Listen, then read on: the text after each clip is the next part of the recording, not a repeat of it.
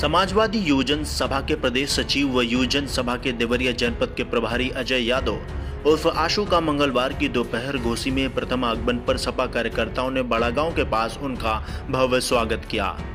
इस दौरान सपा नगर अध्यक्ष खुर्शीद खान, युवजन सभा के नगर अध्यक्ष राजशेखर चौहान, राम सबुज यादव, गोपाल यादव, सोनू राजभर, दीपक चौहान, सुनील विश्वकर्मा, पबलू सोनकर, राम लखन चौहान सहित बड़ी संख्या में सपा कार्यकर्ता मौजूद रहे।